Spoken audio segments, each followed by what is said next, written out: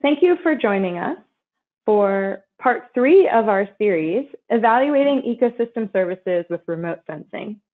My name is Amber McCullum, and I am joined by my colleague Juan Torres Perez and our two guest speakers today, Mehdi Heris from the Hunter City College University of New York and Austin Troy from the University of Colorado, Denver, who will focus on projects around valuing heat mitigation and rainfall interception. So as a reminder, uh, for this training, we have three sessions. This is our last and final session here um, on August 30th. Um, here's the course website where you can find all of our webinar recordings, the PowerPoint presentation, and now the homework that is available for you to complete uh, via Google Forms. At the end of each session, we will have a question and answer session where we will display your questions and transcribe the answers on a document that we will make available about a week after the session is complete.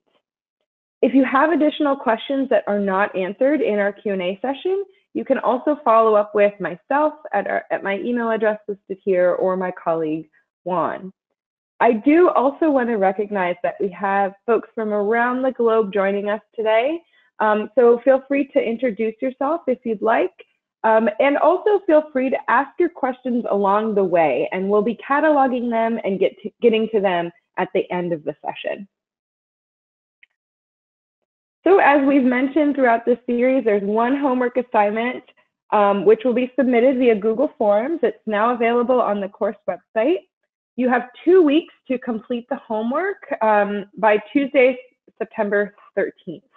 And if you'd like a certificate of completion, you must have attended all three webinars and complete the homework by the deadline. Then it takes us about two months or so to get all of the um, certificates out to everyone. So do please be patient with us as we catalog those and send those out. So keeping in mind that this is an introductory course, we do still recommend a fundamentals of remote sensing. We've included the link to um, that training here or having an equivalent experience in um, the basics of remote sensing. And again, I've listed the um, course website here where you can find all of our materials. So for this session, we are going to highlight multiple projects across the world where ecosystem accounting is being conducted with the use of remote sensing data. These include examples from Liberia, Uganda, Indonesia, across the US with coral reefs and urban environments. So as a review from last session, remote sensing can be used to assess a variety of questions related to the valuation of ecosystem services. There are many types of models and methods for assessing the value. The ARIES technology highlights interoperability and allows models and data to be contributed by independent researchers, hosted on a network, and automatically assembled into model workflows. And the Natural Capital Project aims to improve upon the well-being of people and our planet by motivating targeted investments in nature with a focus on science, technology, and partnerships. So let's get started today with a really great example in Liberia related to the um, GDSA, the Gaborone Declaration for Sustainability in Africa. So as a reminder, GDSA is centered around the role of natural capital in development by bringing the value of natural resources from the periphery to the center of all economic decision making for multiple African countries. The project that we'll talk about today is a collaboration with Conservation International and NASA with the long-term goal of developing decision-making tools and practices based on satellite observations of Earth that can be used worldwide. This Liberian example is one of multiple projects being supported by CI. This project supports GDSA activities by providing tools and approaches to advance Earth observation applications for natural capital accounting, or NCA. The focus is to develop a low-cost, replicable approach and tools that countries can use for ecosystem extent mapping. Liberia is a country on the West African coast and has a population of around 5 million and covers an area of over 100,000 square kilometers. Liberia holds some of West Africa's last intact forest and one of the continent's best remaining habitats for threatened species, such as the western chimpanzee, the forest elephant, and the pygmy hippo. Liberia is also less densely populated than many of its neighboring countries. Together, these factors have created an opportunity for conservation unparalleled anywhere in Africa.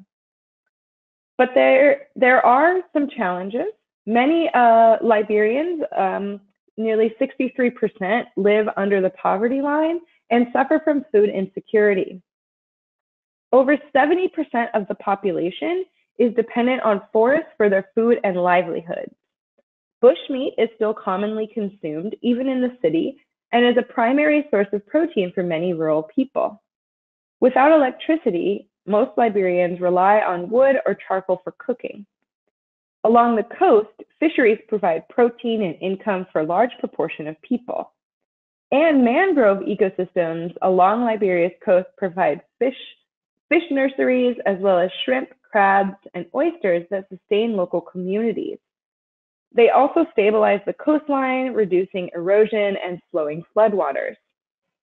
So Liberia's government is really focused on ways to meet food, income, and energy needs of the people, ideally in a sustainable way that is in line with the Sustainable Development Goals. So natural capital accounting plays a really key uh, role in this.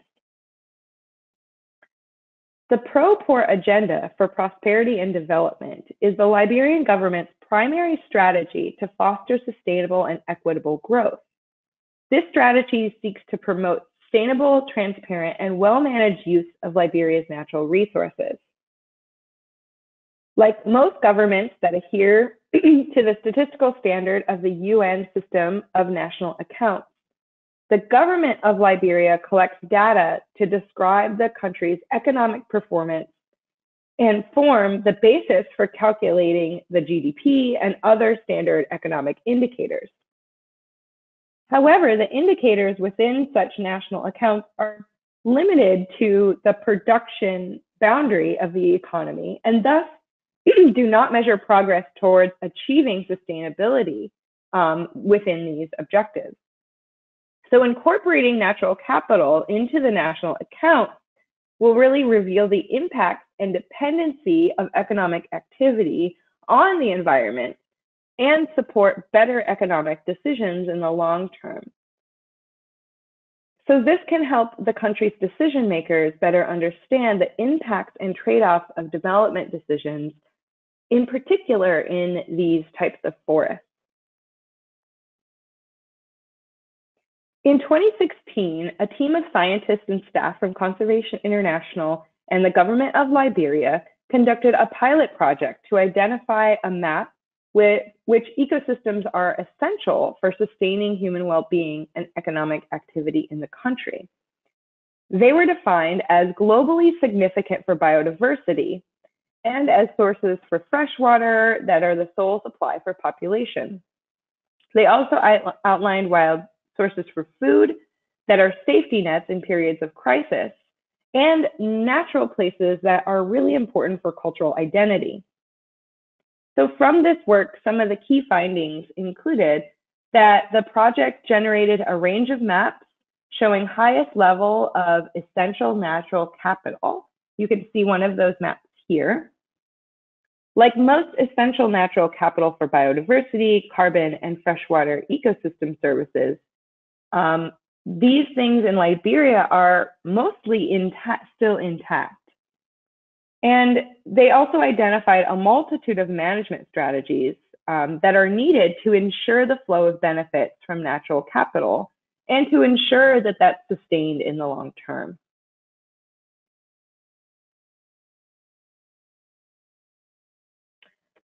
So in order to, to ensure the sustainability, the team created ecosystem classification uh, using up-to-date maps of ecosystem distribution at the national scale. And here is where the partnership with um, Conservation International and CI really took hold. Uh, this work really centered around this um, creating processes that can be repeated at low cost um, and be a useful tool for other countries that are conducting this ecosystem mapping. So this approach generates information on land use and ecosystem distribution, enabling the implementation of both land extent, land and extent accounts from 2000 to 2018. So here you can see um, an example of uh, one of the, the land cover maps produced here.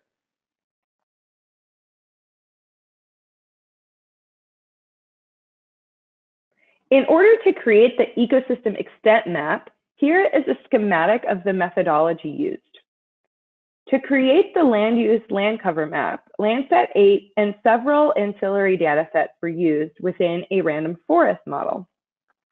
Random forest is a well-known image classification algorithm that can be implemented by Google Earth Engine. And we have a previous ARSET training um, on the use of Google Earth Engine for classification and I also mentioned this in session one, so you can find the link to that training there as well. For the plant dissimilarity map, the CI team used species distribution data and biogeophysical data like temperature, soils, and topography within a generalized dissimilarity model in the R software. So the GDM is a technique used in prediction of comp compositional dissimilarity in ecosystems. So the use of Google Earth Engine really leverages the advantages of cloud computing to provide users with a single place for accessing satellite data, for applying the methodologies, and displaying the results. Google's access to data storage and computing infrastructure allows the platform to host large remote sensing data sets and to provide access to global imagery archives. In the application programming interface or the API, users can easily apply algorithms for things like land cover mapping. So this is the um, tool that was really beneficial and used extensively for the um, land cover mapping within this project. So here you can see the image of the land use land cover map that was generated for 2015, which had an accuracy of 83% you can see that the, a large portion of the land area is mature forest at 55%, with secondary forest making up 25%, and sparse or degraded forest making up 17% of the area. And then these other land cover classifications are um, much smaller percentages. So you can see that um, the mature forests are largely intact in this region, as we mentioned previously. So here's the map result from the ecosystem distribution model.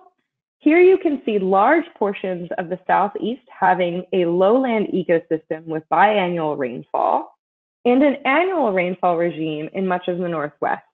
Um, so this is the, the map that was produced with the um, ecosystem modeling using the R software. So then the final ecosystem extent map, where both of these things are combined, um, simply overlays the aggregate values from the two input maps. So here you can see there's a, an abundance of mature tropic rainforests that are lowland, montane, or pre-montane, along with many other types of ecosystems identified. So this was really um, integral to identifying um, where these services are and um, also looking at um, the ecosystem extent um, in these regions. So the team is also really focused on creating training materials to outline their methodology so it can be applied in different regions. And this includes an introduction to Google Earth Engine and a supervised classification tutorial. There may even be the opportunity for a more advanced training um, connected to this within the ARSET model um, next year. So do stay tuned for that as we um, consider this as an option.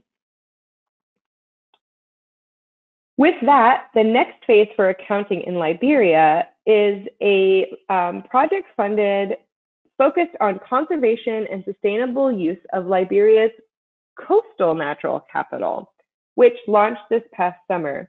And this is really focused on implementing ecosystem accounting in coastal regions. And it will identify innovative financial financing schemes for conservation and management in the, these regions. And as I mentioned, the coastal ecosystems and the mangroves are really important um, to the, um, the ecosystems and the livelihood of people in the region. So with the implementation of the CAEA, this could be a means to support Liberia's long-term sustainability and green growth while alleviating poverty and human well-being towards achieving those objectives I mentioned in the Pro-Poor agenda. Most immediately, the results of the accounts can inform the goal of protecting 30% of Liberia, while also allowing the information on natural resources and cost of degradation to be taken into account in development decisions. So this can help in, um, by including decisions around impact assessment, um, interventions, climate change adaptation, spatial planning, and many other things. This also aligns with um, the work that the country is doing uh, with the Sustainable Development Goals, um, as well as things like the um, Global Biodiversity Framework and the Paris Agreement. Um, so this also connects to how the country is um, identifying their um, national contributions for the um, Paris Agreement and can assist in um, looking at climate mitigation strategies and um, decreasing things like carbon emissions um, in the region. So it, it, it does have implications towards um, identifying climate change mitigation activities as well. So the maps, the land, and extent accounts that were generated through this partnership are a really important step forward um, to better informing policy and decision making in Liberia. Um, and the Environmental, Environmental Protection Agency of Liberia um, has been leading much of these efforts and will work towards the country's implementation of the CAEA to foster development of information, data, and knowledge sharing for monitoring. So with that first example, um, we will now move on to another example from Uganda that's aligned with the EO4EA initiative that we highlighted during our first session. So this project aimed to rapidly develop the required underlying spatial data infrastructure and the compilation of key ecosystem and biodiversity related accounts using that CAEA framework for Uganda. And this was a collaboration between many groups um, that you can see listed here um, and was work that was completed um, in collaboration uh, across um, many of these networks. The accounts that were identified were land cover and ecosystem extent, as well as three non-timber forests and focus on two flagship mammals, the chimpanzee and the elephant. And I also want to mention that the link for the project report is included on this slide. So you can get all of the details about this report and the folks who, who collaborated on it in using that link there.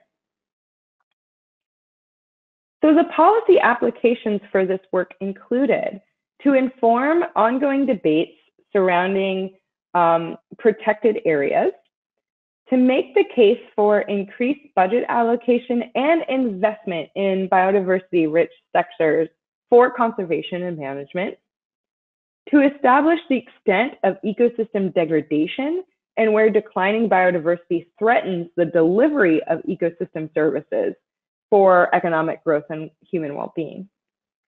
to increase awareness and appreciation of biodiversity as a natural capital asset among decision makers and the public. And then also to assess progress towards um, Uganda's National Biodiversity Strategy Plan and National Development Plans, as well as associated other um, international commitments. The various accounts outlined in this figure shown here were determined in discussion with stakeholders in Uganda. And the first stage in this process was to construct accounts of the extent of land cover class for 1990, 2005, 2010, and 2015, using land cover maps produced um, by the National Forest Authority.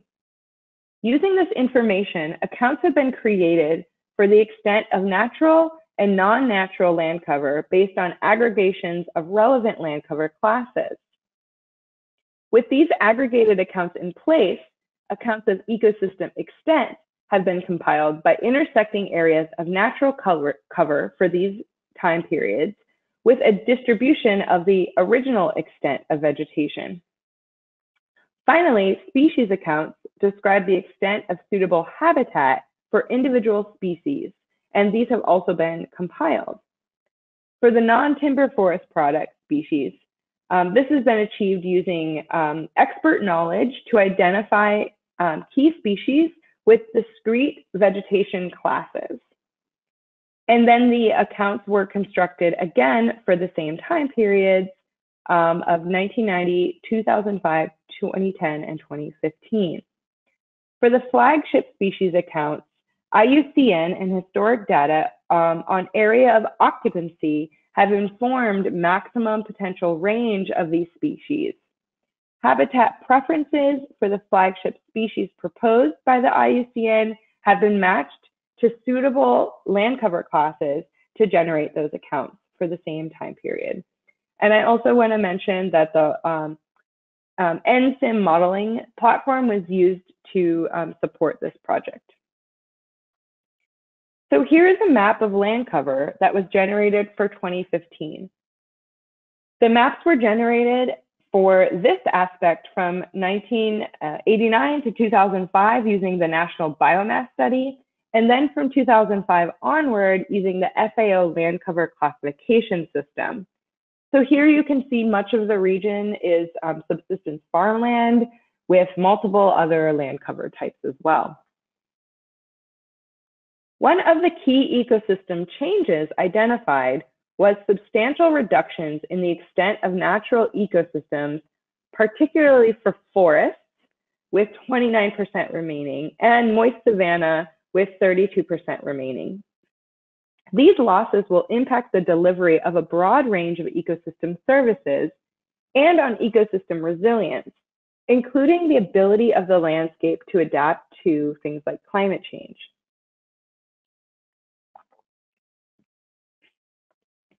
Another important finding that has policy impl impl implications is that the protected area estate has performed really well at preventing the loss of natural ecosystems and the benefits they confer. So you can see here a map of some of these protected um, regions. With respect to wildlife watching tourism opportunities, the, a large majority of the remaining fully suitable chimpanzee habitat was protected in many of the, the regions. And this provides opportunities to also identify target areas for future protection and for tourism development.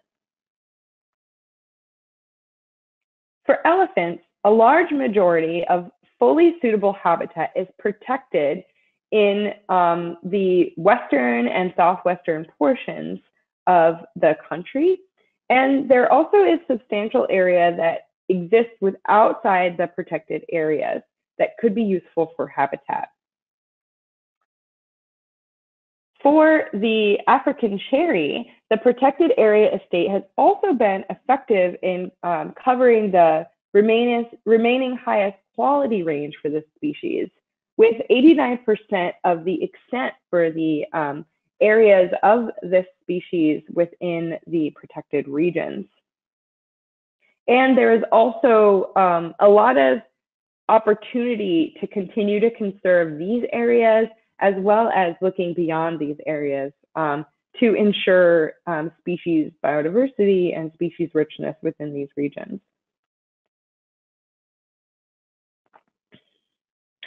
Large areas of potentially suitable natural vegetation for harvesting non-timber forest products were also identified. Specifically, there are opportunities for developing areas for sustainable habitat for um, shea butter and um, gum aromatic trees for nuts and butter production that are not in conflict with the protected areas that we mentioned as well. So in terms of policy implications for this work, regular updates can now be assessed in a timely manner for trends and extent of natural ecosystems and the implica implications for key species.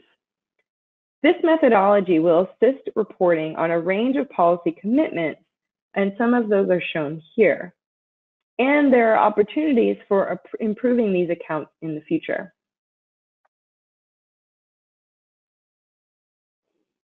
So now we will highlight a WAVES project example from Indonesia. As mentioned previously in session one, the Wealth Accounting and the Valuation of Ecosystem Services, or WAVES, is a World Bank-led global partnership that aims to promote sustainable development by ensuring that natural resources are mainstreamed in developing planning and national economic accounts.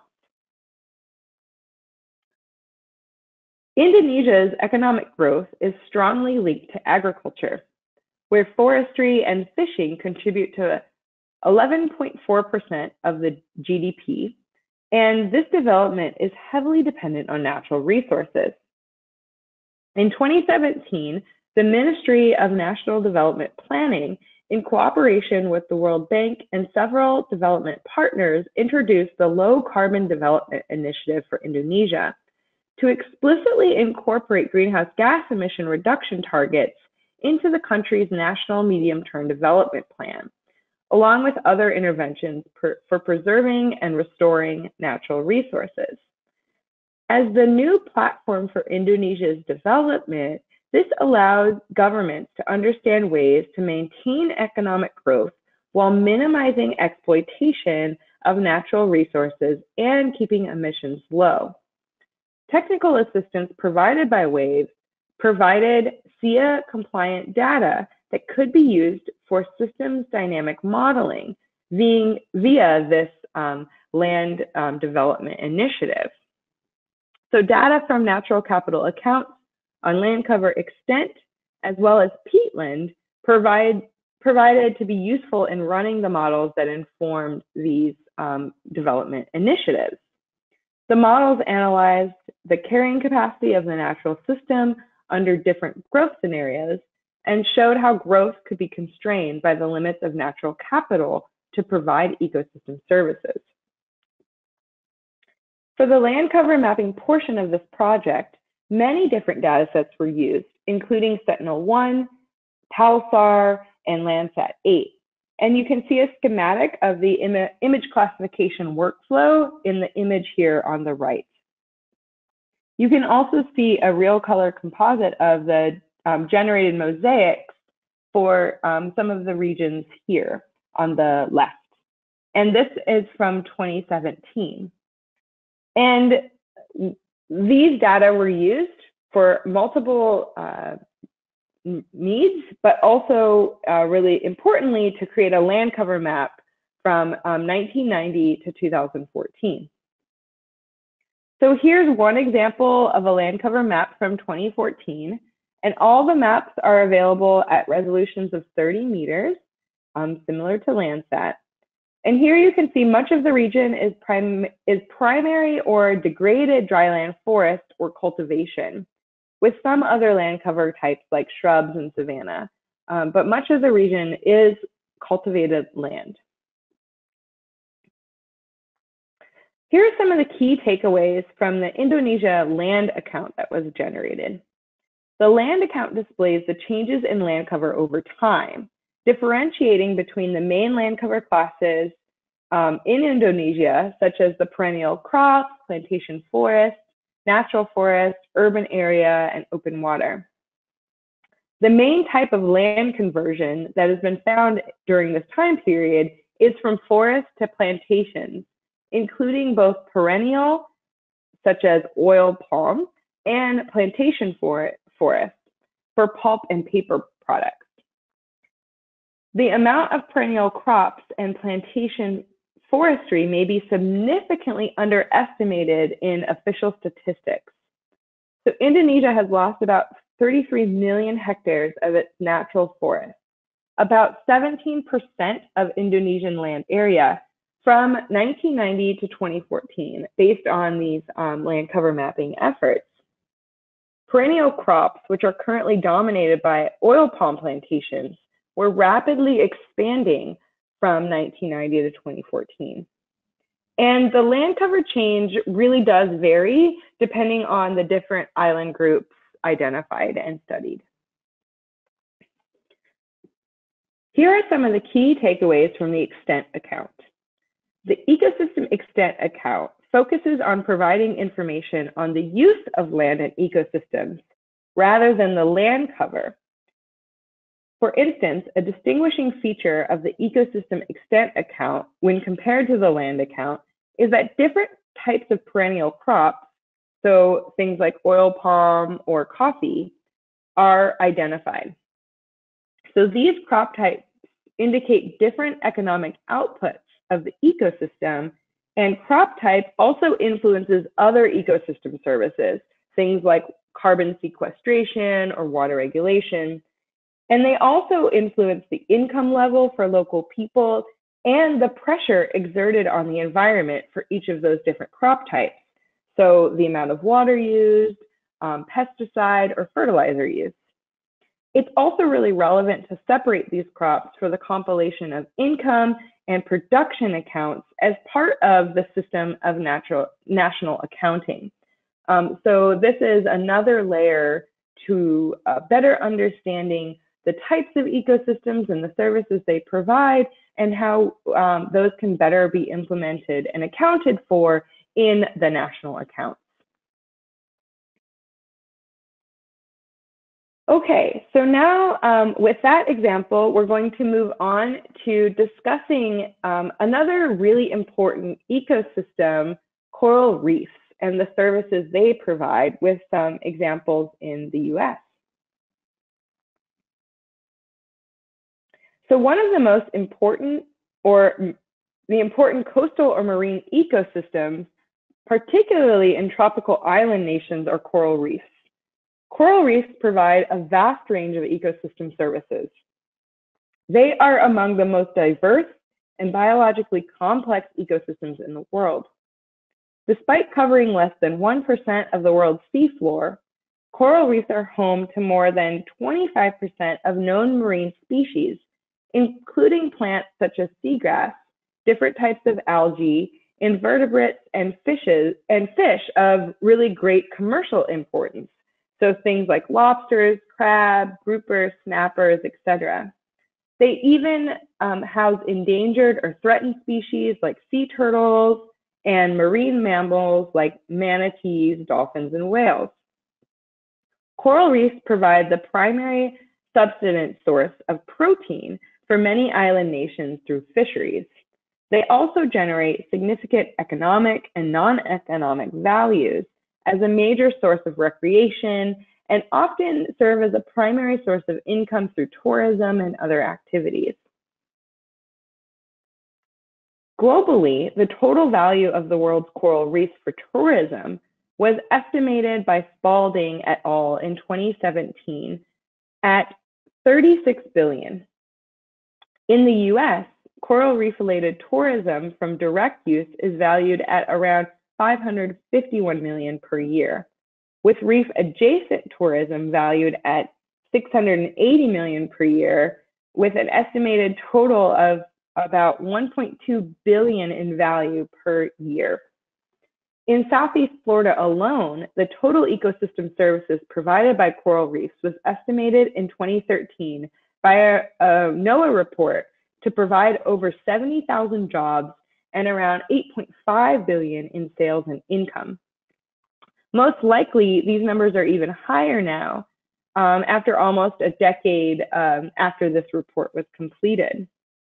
Overall, the annual economic value of the world's coral reefs through tourism, fishing, local jobs, and shoreline protection is estimated between 375 billion and 9.9 trillion um, from Costanza et al. in 2014.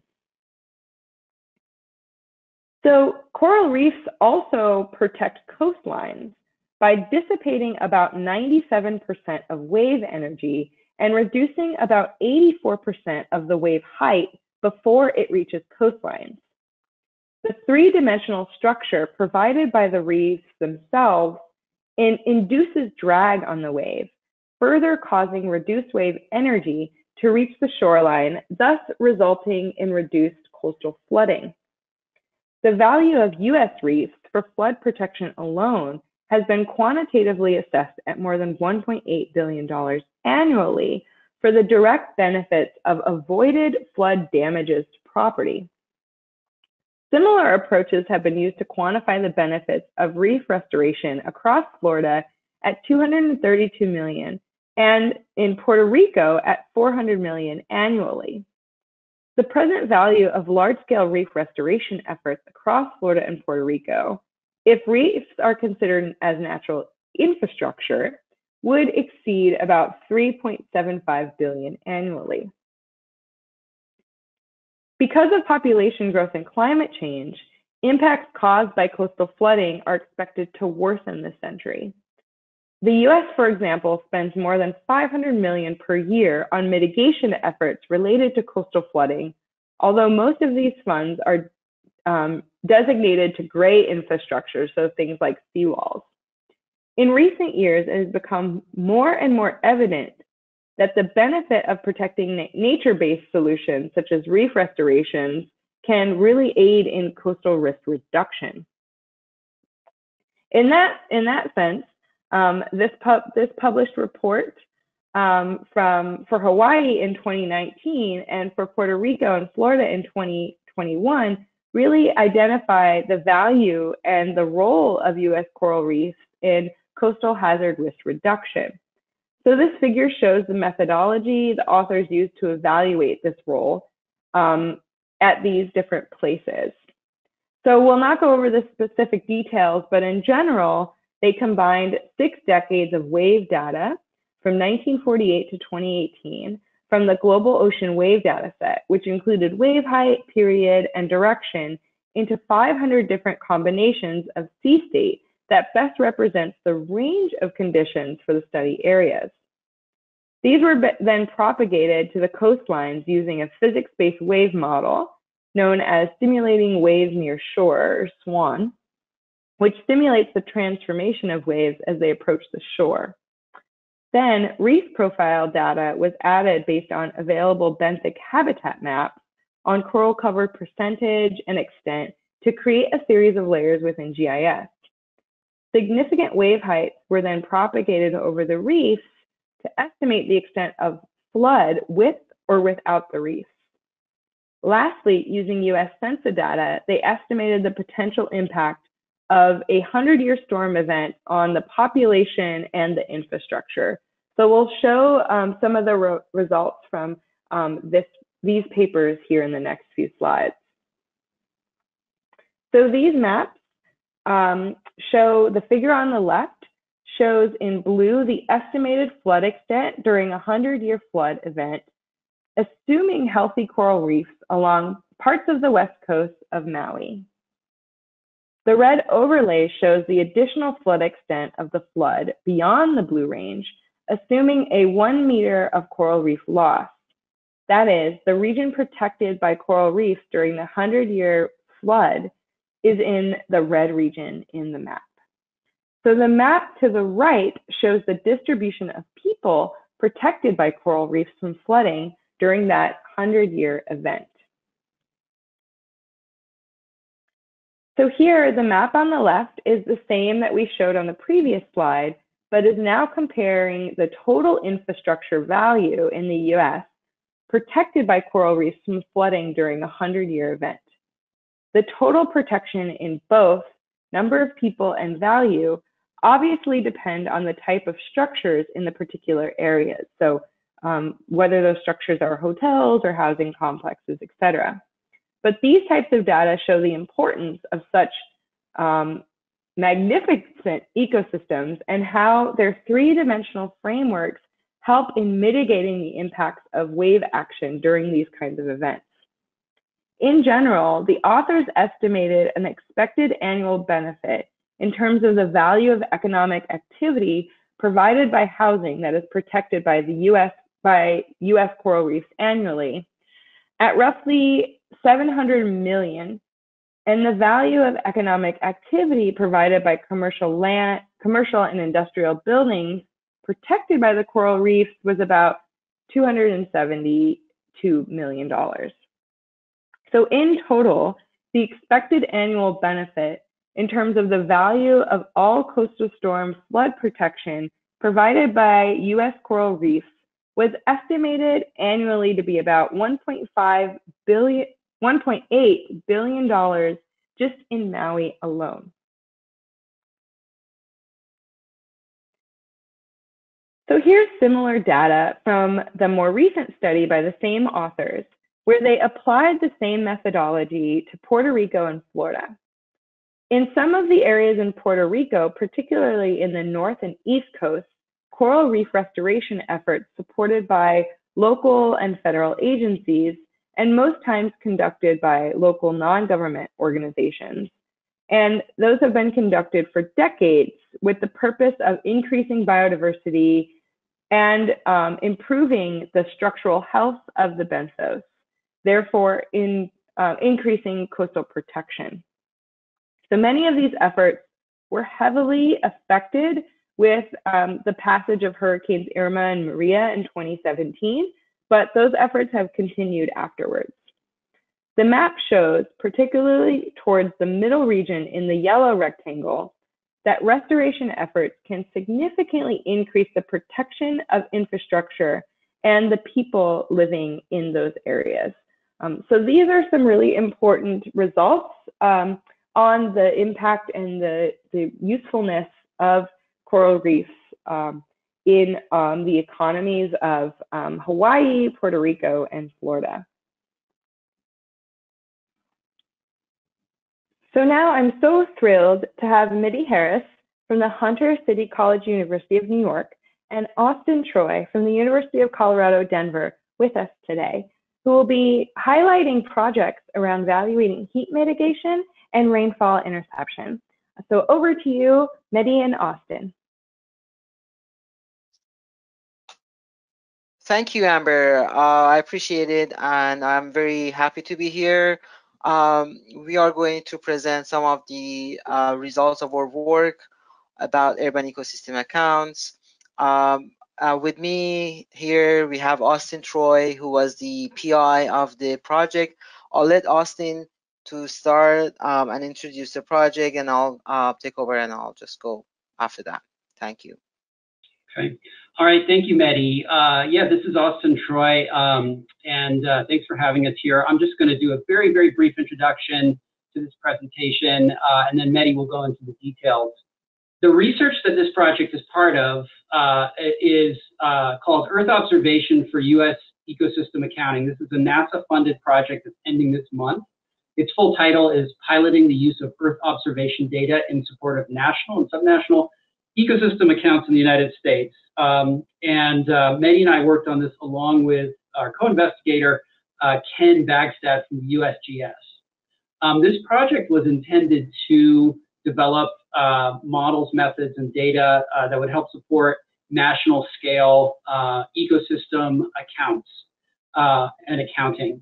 And um, so we looked at a couple of different categories, including uh, pollination and uh, a national model for um, uh, pollination ecosystem services and the accounts generated from that. Um, but here today, we're going to focus more on uh, another part of this project, which was looking at urban ecosystem services and specifically the role of, the, of trees.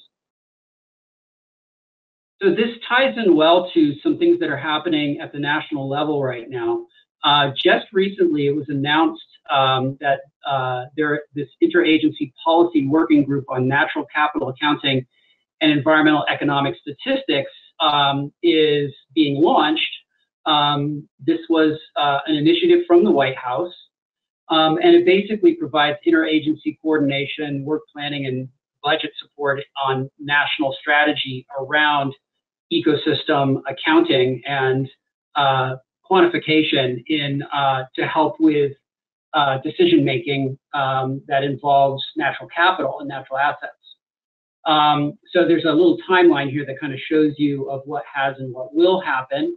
Uh, but the long and the short of it is that um, this uh, this represents a uh, an attempt, uh, an initiative to mainstream ecosystem accounts and ecosystem quantification. So there's a need for these types of tools and these types of data that we worked on in this project. Um, and um, so, uh, and this incidentally does involve this this initiative. Uh, I think um, closely involved the the, uh, the interagency working group on natural capital, which our co-investigator Ken Bagstad was part of. So he was very involved in this. Um, and uh, so, so what we're doing right now, we're, we're hoping will inform this strategy and some of the, the tools that, that uh, help support it.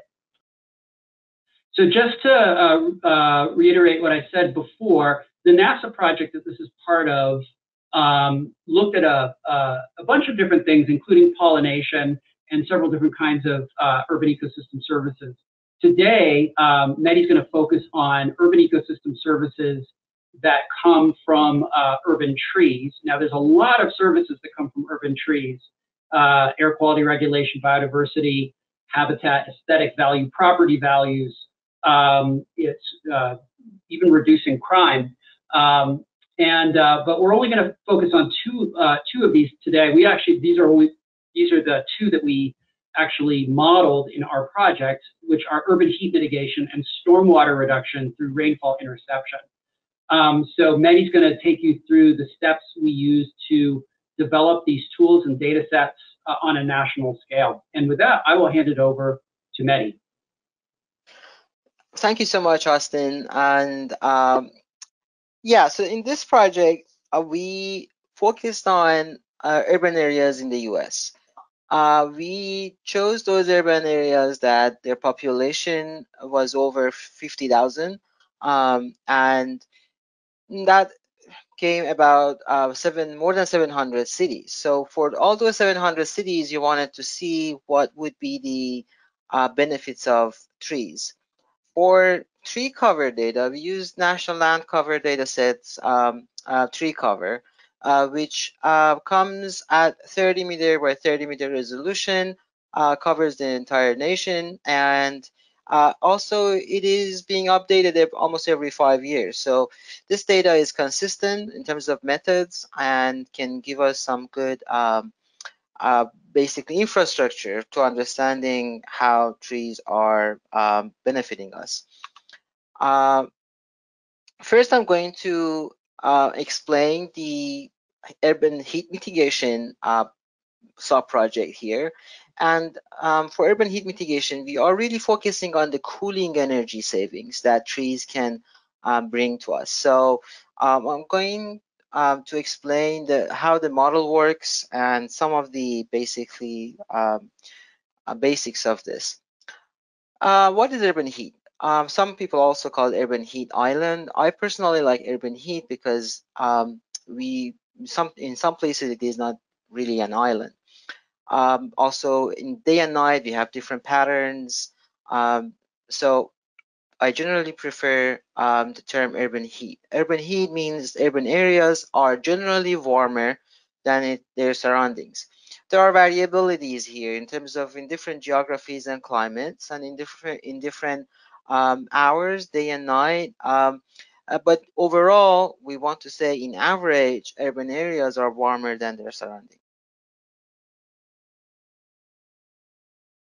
The data needs for models are surface temperature, uh, NLCD tree cover, which is National Land Cover Data Set, tree cover, uh, NLCD land cover, um, and weather station data. Some some of the data that we used came from weather stations, building footprint um, data that uh, has the national coverage, and also building energy use data.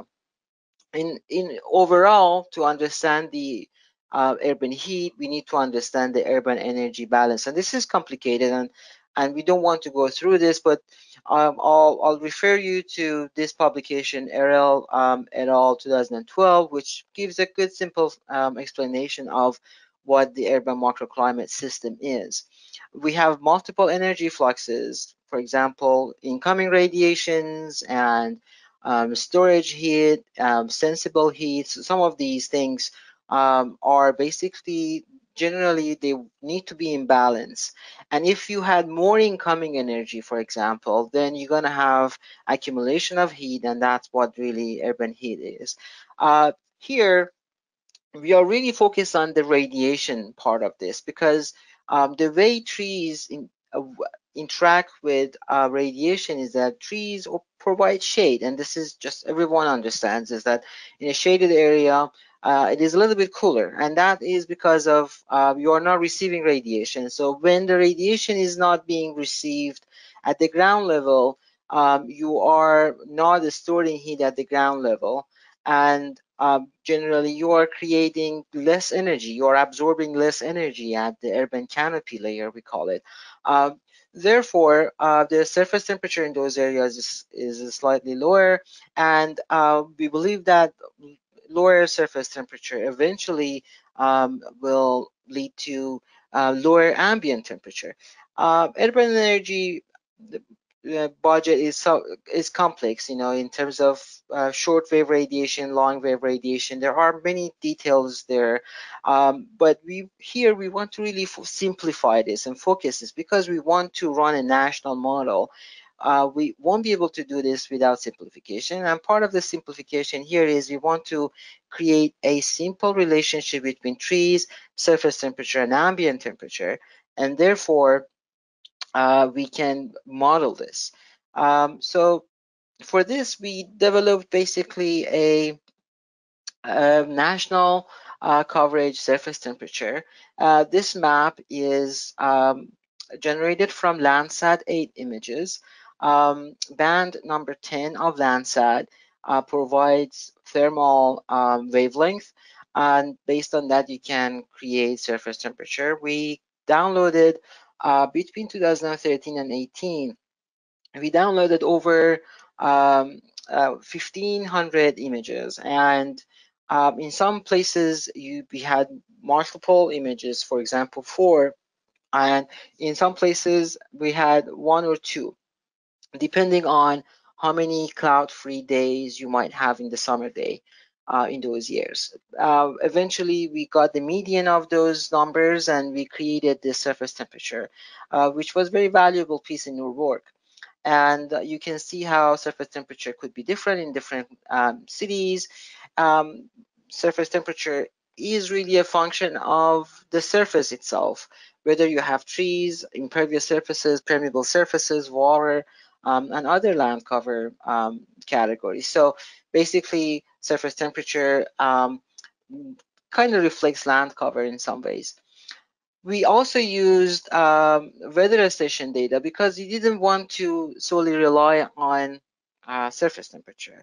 And because of that, we needed to um, download some weather station data. We downloaded the weather station data um, for those years that we ran the model for. And uh, these data come from, for example, minimum and maximum and average um, daily um, uh, temperature. And again, we collected them for the summertime. And um, eventually, all of those data came to a model that has um, two um, components. I don't want to give you headache why the details of this process, but what I want you to get from this diagram is that our model had two parts.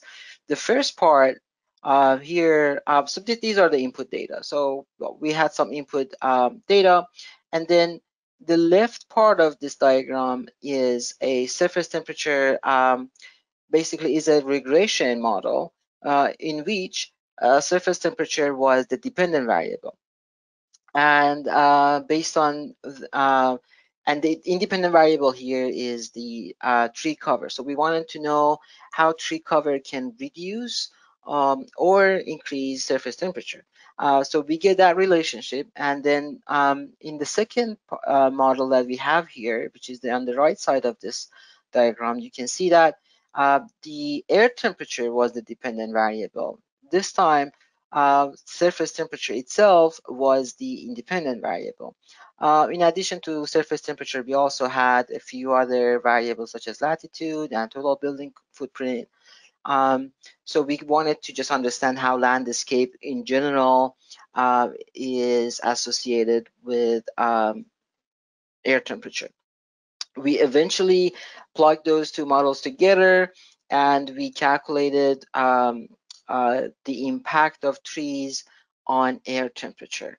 Um, these two models basically give us that. And we also propagated the error uh, using Taylor's uh, method. Um, Taylor here, 1997, they, have a really nice book um, on error uh, measurement. And we use that method to propagate the error, meaning putting together the uncertainty of these two uh, regressions together uh, and we also use some uh, constant values or some coefficients, let's say, uh, for how much is the cooling impact of, um, you know, how much is the energy use of the uh, cooling systems in general in different climates, and um, how much uh, basically trees can uh, reduce um, that energy for us overall. Then um, we eventually, outside of this model, calculated how much trees can um, cool um, the uh, air temperature, and because of that, how much we can uh, avoid using cooling systems. And then based on that, we calculated how much money you can save uh, based on just having some trees in your environment. Um, and eventually, all of those data um, come together and uh, we can for each city, uh, we can aggregate those values because our model output was at 30 meter cell size.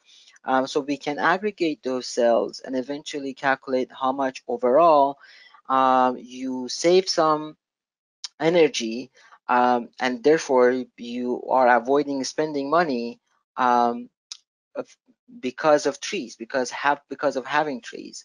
And then we also normalized that by the housing units um, in those areas. So eventually we are uh, representing here how much in different cities in average people are um, you know saving money uh, just because they have some trees in their environment um, in, again uh, it is very obvious that in some cities that you have a lot of trees, you have many, you know, good tree coverage. You are your saving is high, and in some other trees, in in some other cities, that is lower because there's not much tree cover. Uh, and the results overall um, in 2000, so we ran the model for 2011 and 2016. Uh, in 2011, our data shows that about, uh, you know, 500 million dollars is saved um, in the United States um, because of those trees. And in 2016, um, that um, value is 539. Uh, these are adjusted for inflation, so they are comparable numbers. The second model that I want to talk about is rainfall interception. Trees uh, can regulate the stormwater um, because they are intercepting rainfall and that slows down the runoff um, at the surface level. In this model, we are uh, using similar, some similar pro, uh, data products, which are a, national land cover data sets tree cover and also land cover. We also use weather station data again because we wanted to get the precipitation um, at uh, for each of those uh, areas, the urban areas. Also, we used um, MODIS's uh, seasonality, and um, I don't have it here, uh, but we also use the leaf area index um, uh, for understanding how much um, basically leaf area we have. Uh, leaf area was one of the actually key data sets in this um, project and basically leaf area index tells you how much leaf coverage you have above the ground. Um, if your tree you know, on average is covering the surface by just one layer, so your leaf, leaf area index would be one. But if you have on average, uh, let's say three uh, uh, layers of leaves covering that area, then your leaf area index would be three. Leaf area index is a unitless number and also um, basically shows how much um, trees are, you know, basically providing multiple layers and therefore uh, you are, you have um, higher volume of green overall. Uh, there are a few key terms in our rainfall uh, interception model. Uh, the precipitation itself, so that's the overall precipitation that you have. Uh, some of that water sticks to the uh, leaves and that's we call it interception. Uh, some of that just falls through because it doesn't hit any tree, any leaf. So that you can call it fall um, fall through um, uh, is that correct? I think I think so. Um, and then some. Uh, the other thing is um, trees also at some point get saturated, and when they are saturated, uh, you know, rain starts uh, basically dripping. Um, and that's another uh, concept that we need here, which is the saturation level. What is the saturation level or storage level? Also, you can call it uh, precipitation storage. Um, all of that we used um, this is study that is basically the um, the theories, let's say, or the method for iTree um, um, software that many people use and you are probably familiar with. Um, so they basically use the same uh, relationship and we use that uh, relationship as our base um, equation. Uh, for that, you know, there are a few constants that we use. For example, SL is a specific leaf storage of water, which is just tiny for, of course, uh, when you are thinking about a leaf.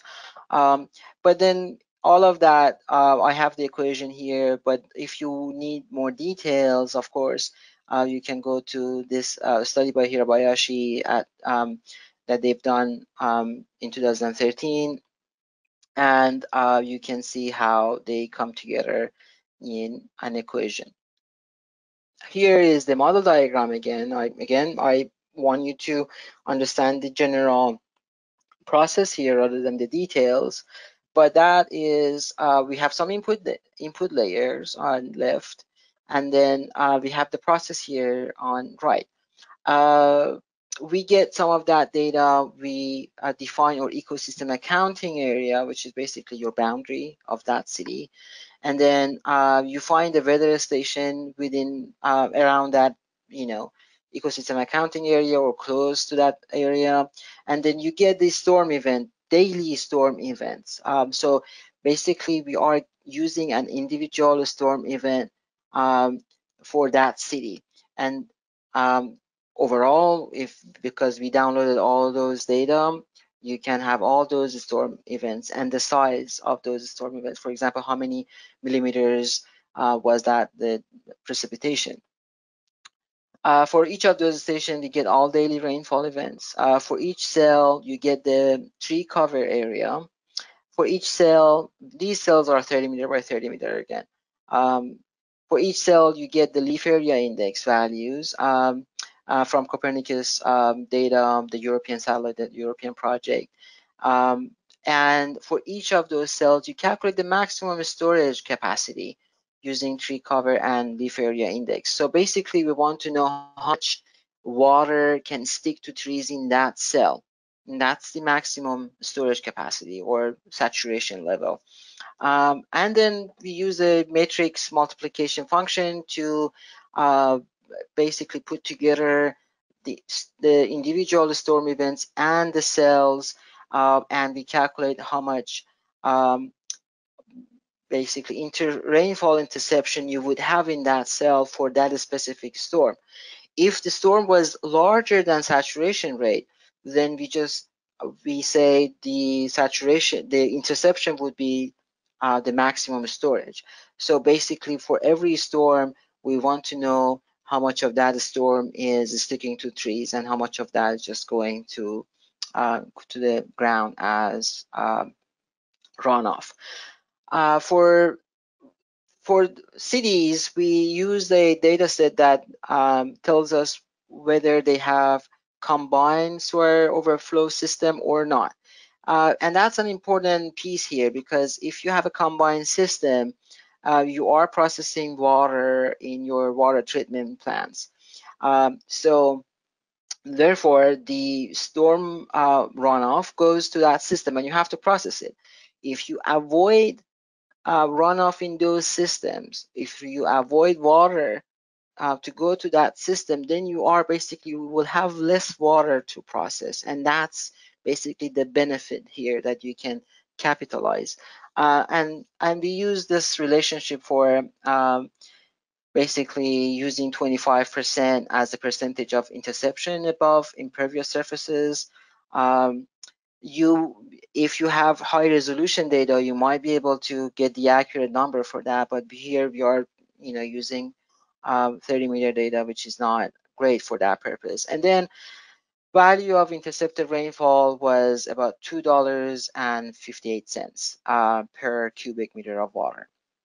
Overall, we aggregated that number, and here is the results for the rainfall interception. Again, we did that for 2011 and 2016.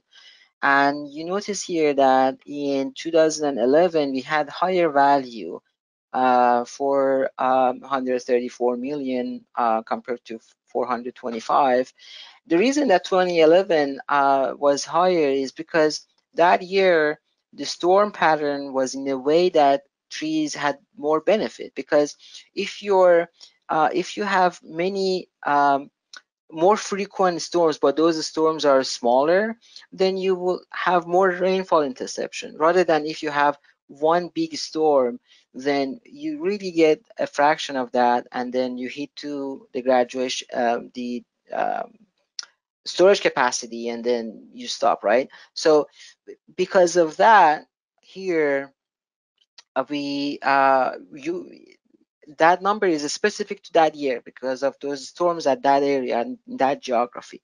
And that's the beauty of this model because it is specific to the city and is specific to the time we aggregated those numbers for cities with CSO and cities without CSO. So those are the values that you can see. Again, those um, areas that have larger trees overall and higher tree canopy cover, they get a more benefit compared to cities in, uh, you know, in western side of the country. Uh, these numbers, again, don't want to give you a headache with a lot of number here, but um, we can see the value of energy saving and the value of rainfall interception for each of those cities.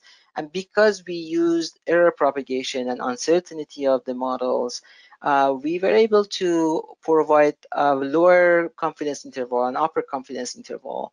Um, and that gives you a range of what this value is and, and how reliable this value is. That's another um, you know contribution of this project um, because you know it, it is important to understand the, what the uncertainty is.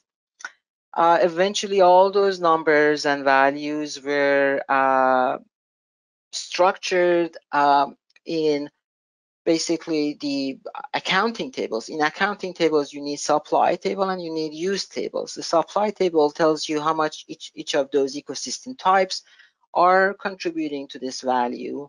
Um, in, in this case, we use land uh, cover, national land cover data um, as a proxy for ecosystem types.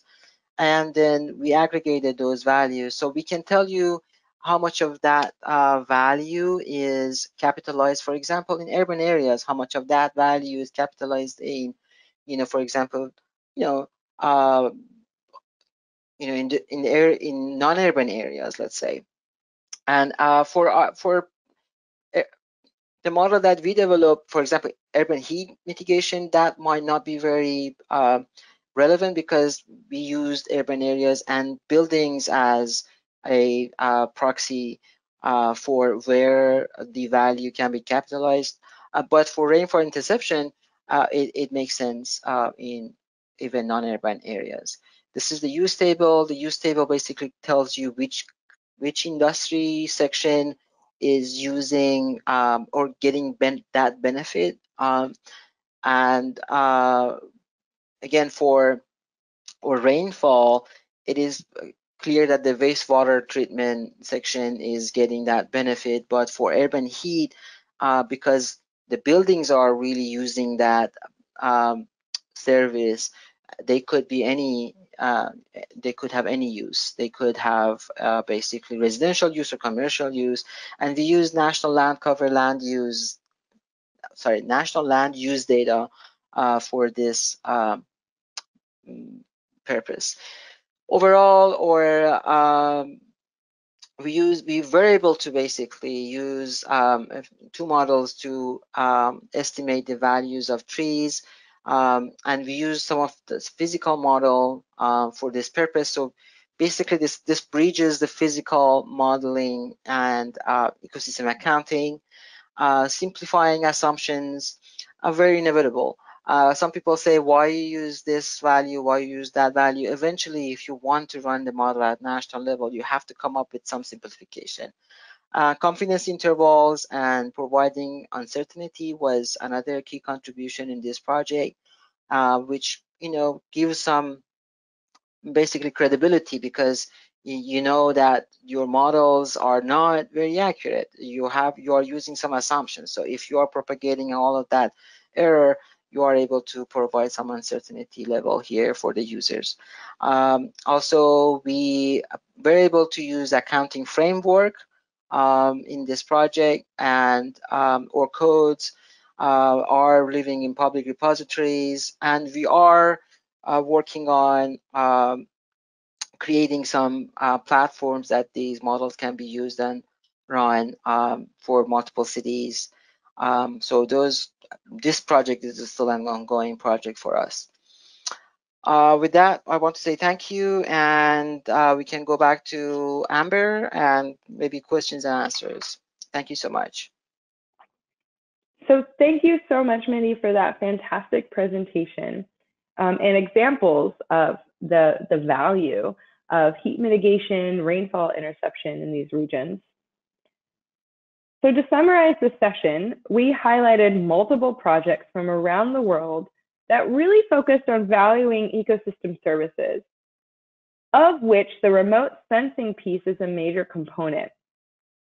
There is a need for continued use of these data alongside other forms of data for continued benefits of ecosystems to people and the protection of these ecosystems for the sustainable health of the planet. So I hope you enjoyed this training series. Um, it was really great to have all of our guest speakers with us. Um, was the first time we've ever trained on a topic like ecosystem services. So hopefully it was a nice introduction to the concept um, along with some examples for you. Um, we really enjoyed having you all with us um, and providing this training. Just as a reminder, here um, is the contact information for myself and my colleague Juan. Um, and then again, you can find all the information about the training, including um, downloading the materials, the recordings of these sessions, as well as the link to the homework, all on the training website here. Um, as I've mentioned in the previous sessions, you can stay connected with us, follow us on Twitter. Um, you can learn about upcoming trainings. We have a variety of trainings in many different application areas. So do come back to the website, follow us, um, stay connected with the upcoming trainings. You can also check out our sister programs, Develop and SERVIR, um, at the NASA Applied Sciences website as well. Um, so thank you all again. We will now move into the question and answer session of this training. So thank you all.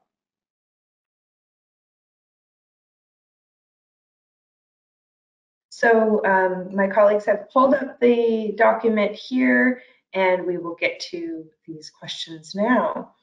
Um, so the first question asks, how could I improve the accuracy percentage of the classification since it was at 83%? Um, so there are a variety of ways that you can improve the accuracy of your map. Um, you could include more ground-based data if you have them um, in order to essentially train the remote sensing data to understand what land cover classification you are um, looking at. Um, you could also include other data layers. Um, so you could, for example, include a Landsat map alongside um, a digital elevation model. And oftentimes that will improve the accuracy of your map as it incorporates topography into the analysis and uses that as um, a feature for identifying which land cover class um, you have for that region. Um, you can do those types of analysis in R, Google Earth Engine, and other software. Um, you could also try different land cover classification algorithms. Um, so we mentioned random forest, and there are others out there that you could um, investigate and take a look at as well. Um, I will say that the ground-based information is really the best uh, way to improve your accuracy. However, it's often the most difficult to get. Okay, um, so for question two, do the seasons affect the nature of the results? Is there a specific date and criteria for estimating biodiversity in the area? Um, so the best answer I can give is it depends. Um, in regions that have clear vegetation green up and senescence, such as a mid-latitude temperate forest, there will be a clear change in the vegetation signature. Um, so you could use NDVI to highlight the um, the, ND, the changes in NDVI values in the summer versus um, in the, the winter. Um, so as it relates then to species and biodiversity, um, it also depends on the species of interest and, and the species you're mapping. So some species migrate based on um, changes in um, phenology in their associated landscape and vegetation. Um, and so this will just really depend on what your the questions you're asking and your species of interest. Um, we have a couple previous ARSET trainings that talk about um, phenology and species distribution modeling in more depth that we've also listed there for question two. Okay, Question three, why does the extent of the ecosystem need 22 classes in one map? Will this cause an overlap in map one? So I'm assuming this uh, relates to the, um, the Conservation International and NASA example. And so um, the, the research team had likely a specific region, reason for including those 22 classes. Those might be associated with different species, which could be used to estimate biodiversity, or for different types of agriculture where products might be evaluated for economic production. Um, the discrete types of land cover classes might also be used for identifying things like the contribution of carbon sequestration in different ecosystems. So the final uh, map was the combination of the first two maps, the land use, land cover, and the ecosystem extent. Um, and then those classes were um, base, basically likely chosen by the team, as I mentioned. There are other standardized approaches to land cover classification, and our guest speaker Ken mentioned this last time, and those are, um, that work is largely being done by the UN FAO, which works on land cover classification systems and land cover um, um, the land cover meta language there as well. And so this was mentioned um, during our last session too. Okay, so question four. Regarding the Uganda report, a lack of ground level spatial and temporal bushmeat hunting data that is not taken into account in this type of analysis seems to discredit the utility of this type of report. Your thoughts?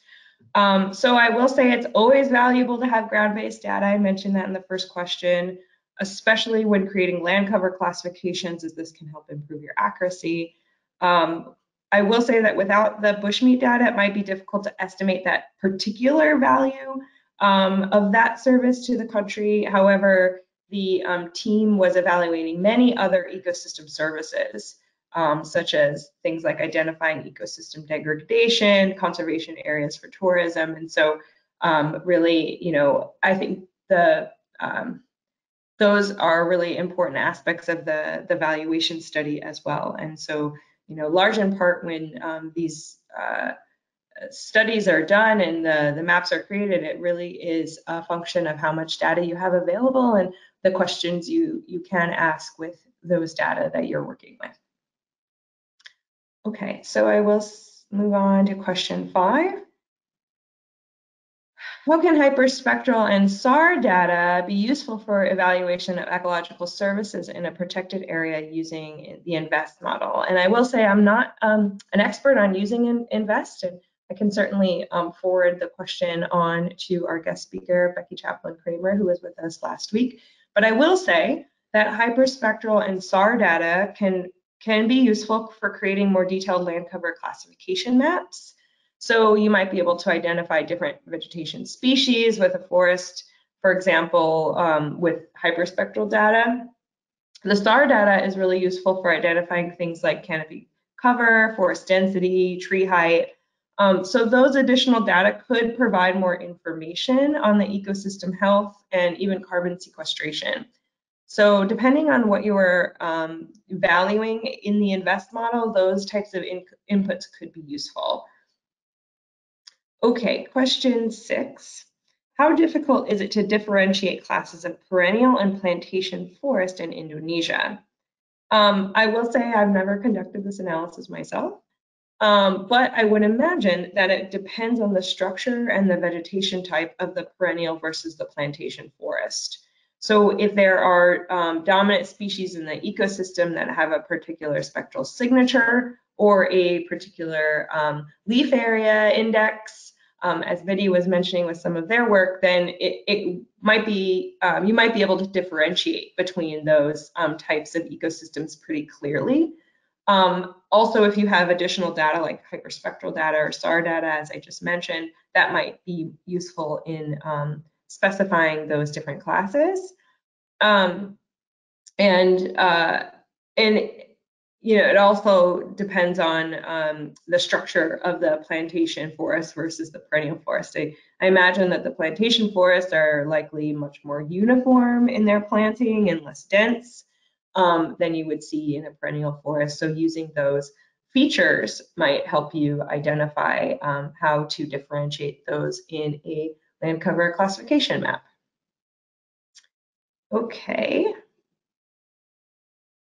So question seven asks, are there differences between land cover map classification before 2005 and then after 2005 for Uganda?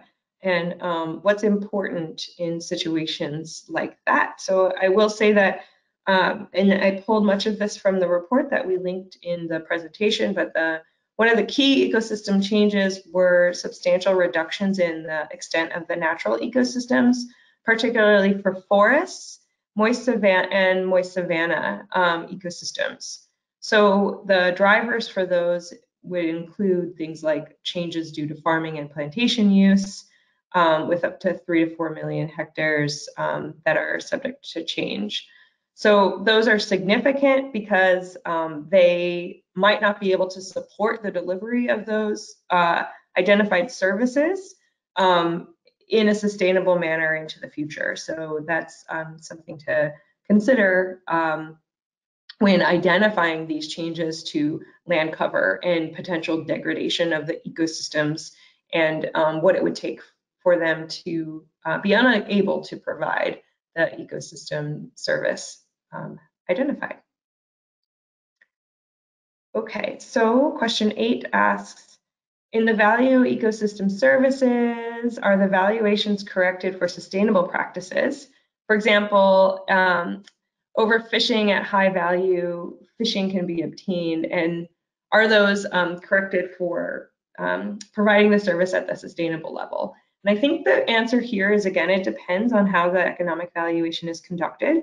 Um, there are many studies, for example, with the fisheries example, um, that capture the current catch and associated values, um, regardless of if the practices are sustainable into the future. But there has been a lot of work um, focused on approaches that encourage sustainable behaviors. So these are things like ecosystem-based fisheries management. And I've provided a link to a paper that reviews some of those um, market-based instruments for increasing sustainability. It's a good question. Um, question nine, what kind of vegetation class mapping is currently powerful enough for evaluating ecosystem service with remote sensing? So I'm not sure I fully understand the question. We, we gave a lot of examples of the different types of um, data to be used and um, types of land cover maps that can be created. Um, but I will say that it really depends on the ecosystem of interest and what you're hoping to evaluate with your analysis. So I gave the example here of if mangroves are economically important, you probably want to ensure you're accurately mapping that type of land cover. And so that might necessitate the use of data like optical and SAR data in tandem with ground-based information. Okay, uh, moving on to question 10. Um, uh, amazing effort for the coral reef uh, for coastal protection. Can we have the contact information of the researchers? So yeah, with um, with all of the examples I provided, those were based on um, papers or research that had been done um, by others. So we've included the link here to um, four different papers that were mentioned in that um, highlight where you could get more information about the authors and um, the analysis itself. Okay, so moving on to question 11, and I think some of these now are um, for our guest speaker, Mehdi. So question 11 asks, how is the urban heat model different than what iTree does? Mehdi, would you like to respond? Uh, sure. Uh, thank you so much, Amber. Um, you know, we need to understand the logic and the way iTree works. iTree basically um, tends to provide an estimation for, for example, a tree um, or a tree cover patch in urban areas. And um, so those uh, values are estimated based on some models that they ran. And, and then when you have a map of trees uh, for an urban area, those estimations are aggregated the way our model works is slightly different. So we bring more variables into this, uh, including land cover, building footprint coverage, and also uh, surface temperature. And uh, the model basically, every time that you run it, the model takes those variables and estimates the uh, specific, spatially explicit um, data for that city, for that cell. So it is not an estimation, overall estimation. It's an estimation for that specific cell. So that's one of the differences. Um, again, I'm not very uh, fluent on iTree uh, urban heat model. Um, that's my overall understanding of um, iTree. Okay, great. Thank you, Mehdi. Sure, I can I can go through the, the other questions. Um, the second question about the water bodies. Uh, yes, water it has a heat mitigation impact, um, but also has complex, um, you know, effects because water also is a great storage for heat. At night, water bodies are actually warmer than um, other, you know, kind of impervious landscape, for example. So we bring a lot more um, complexity here. So, um, and also when you want to pay, you know, bring the impact of water to also bring the impact of wind because wind and water work together. And that makes the model very complex. Um, and a complex model will need more time to run um, and will need uh, more computation capacity. One of the main um, goals in um, our project was having a manageable model that you can run it in a few hours and uh, it works uh, for a national level estimation. Uh, but if you are working on a small area, then I think that makes sense to bring more complexities such as water, wind, uh, overall, um, I would say holistic um, ecosystem uh, ecosystem, um, sorry, microclimate simulation. So uh, that's the reason that we didn't have water bodies because of just basically simplification. Question number three, 13 is about um, uh, tree species um, and whether uh, having that as a data point would help for the interfall um, interception, rainfall interception model. Yes. Uh, if you have tree species data, then you can have a good estimation of leaf area index for that tree. And also not only the leaves, you can also have a good estimation of the trunk um, and tree trunk um, storage because also that for winter time specifically, um, that would be very helpful. Uh, but that data is not available nationally uh, for the US. Um, and that means um, you need to have some um, rough estimation of the leaf area index. And that's why we use the Copernicus uh, data set for uh, leaf area index that has 300 meter resolution. Um, if you have better data, I would say you will have a better model but that was not the case uh, in the US um, Urban Account project. Question number 14 is uh, based on the spatial, uh, spatiotemporal analysis and whether we can predict um, future ecosystem service valuation.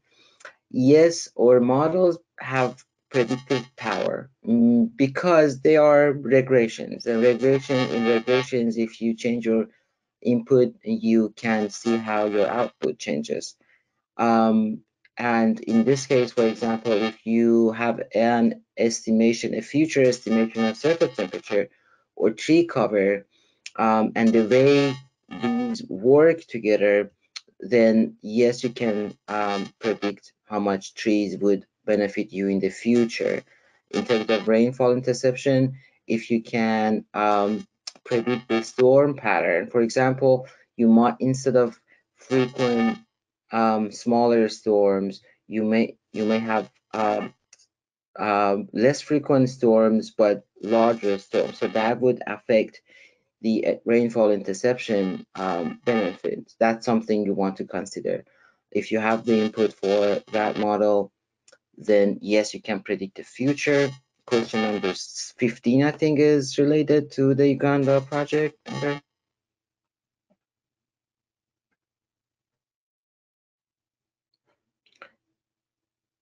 Maybe I can also answer question 16. Um, they asked for the resources and details about these models, which is available in the paper that we published in 2021.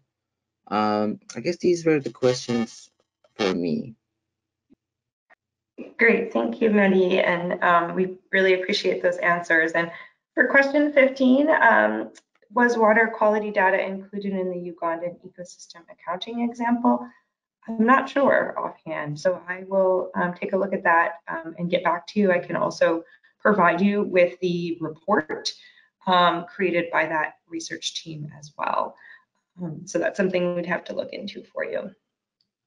And as with that question and any of the remaining questions that we have here that we were unable to get to during our time together, we will take a look at those and answer the best we can um, via the via text and take a look at this document and get it all cleaned up and put onto the ARSET website for you all to use as a reference later on um, as as well.